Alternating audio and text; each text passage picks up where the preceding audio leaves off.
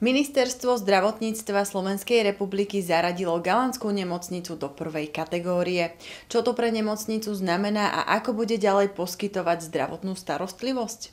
30. decembra roku 2022 Ministerstvo zdravotníctva Slovenskej republiky zverejnilo prvú čiastkovú fázu optimalizácie siete nemocníc. Je treba povedať, že je to podmienená kategorizácia a v rámci tejto kategorizácie sú nemocnice zaradené do úrovne 1 až 5. Nemocnica s poliklinikou svätého Lukáša v Galante bola zaradená do prvej, teda do najnižšej kategórie. Určila to kategorizačná komisia Ministerstva zdravotníctva. Po roku príprav považujeme prvé praktické výsledky reformy nemocničnej siete za racionálne.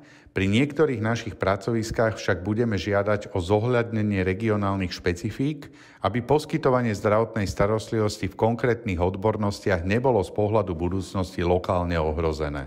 Nie je pravda, že nemocnice prvej kategórie by sa automaticky mali stať nejakými doliečovacími ústavmi alebo niečím podobným. Nie je dôležitá samotná kategória nemocnice, dôležité sú medicínske programy, ktoré e, nemocnica prevádzkuje. Ministerstvo zdravotníctva zároveň zverejnilo pre všetky kategórie nemocníc možné doplnkové a nepovinné programy, ktoré nemocnica môže vykonávať. Máme za to, že nová kategorizácia nemocníc v kombinácii s doplnkovými medicínskymi programami nám umožní zachovať súčasný rozsah zdravotnej starostlivosti vo všetkých našich nemocniciach vrátane regionálnych pôrodníc, urgentných príjmov či chirurgických oddelení. Toto sa samozrejme uplatňuje aj na nemocnicu v Galante. Nemocnica v Galante má záujem vykonávať všetky doplnkové medicínske programy tak, ako ich vykonáva dnes. O nich bude rozhodovať v priebehu prvého a druhého kvartálu Ministerstvo zdravotníctva prostredníctvom svojej kategorizačnej komisie a my budeme mať celý rok 2023 na to, aby sme sa pripravili na danú legislatívu, to znamená, aby sme začali podľa nej fungovať od roku 2024, tak ako všetky ostatné nemocnice.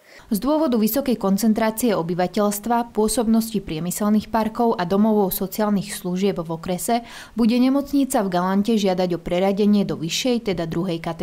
Nemocnica sa rozhodne nezatvára, pokračuje ďalej svoje činnosti tak ako máme dnes dostatok alebo nedostatok personálu na niektorých oddeleniach, tak to aj podmienuje vlastne ten objem tej poskytovanej zdravotnej starostlivosti. Našou primárnou úlohou je stabilizovať personálnu situáciu a neustále zvyšovať kvalitu našej siete pre pacientov, ale aj zamestnancov.